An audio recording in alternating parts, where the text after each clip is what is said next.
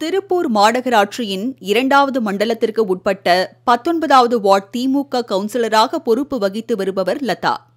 இவர் பெயருக்குத்தான் கவுன்சிலராக உள்ளாரை தவிர அவரது வேலைகள் அனைத்தையும் அவரது கணவர் மோகன் என்பவரே கவனித்து வருவதாக கூறப்படுகிறது. இந்நிலையில் கடந்த ஏழாம் தேதியன்று பத்தொன்பதாவது வார்டு பகுதியில் சாலை அமைக்கும் பணிக்காக மாநகராட்சி அதிகாரிகள் சென்றனர்.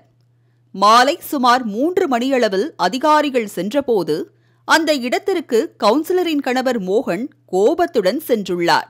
தன்னிடம் தகவல் அளிக்காமல் தனது வார்டுக்குள் எப்படி வரலாம் என கோபம் கொப்பளித்த மோகன் அரசு அதிகாரிகளை கேட்கவே கூசும்படியான ஆபாச வார்த்தைகளால் திட்டி தீர்த்தார்.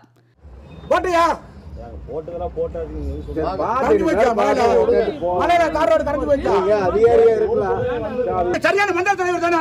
இருங்க மண்டல இப்படி ரோட்ல உட்காந்துடலாம் அன்னைக்கு. அன்னைக்கு ஏன் அடங்கி போட்டா பாதி ஸ்பீட் பிரேக் போடாம இருக்கு. இல்லாத இருந்தாங்க ஏன் போடல?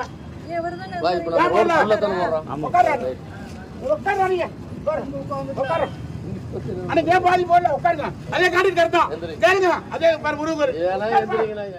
இதற்கு அதிகாரிகள் முறையாக தகவல் தெரிவித்துத்தான் தாங்கள் ஆய்வு செய்ய வந்திருப்பதாகவும் தங்கள் பணி செய்வதை தடுக்க வேண்டாம் என்றும் கேட்டுக்கொண்டனர் ஆனால் பொறுமை இழந்த மோகன் தொடர்ந்து திட்டியும் சாலை மறியலிலும் ஈடுபட்டு அதிகாரிகளை பணி செய்ய விடாமல் தடுத்து திருப்பி அனுப்பினார். அரசு அதிகாரிகளை ஒருமையில் திட்டிப் பேசும் திமுக பிரமுகரின் வீடியோ சமூக வலைதளங்களில் வைரலாகி வருகிறது. ஒரு வேலைக்கு ஒரு அதிகாரி வந்து கை சொன்னது இல்ல மறுபடியும் மறுபடியும் அதிகாரி ஏன் அந்த காலை அந்த பிரேக் போடுறீங்க உட்காந்து மேல இருக்கூட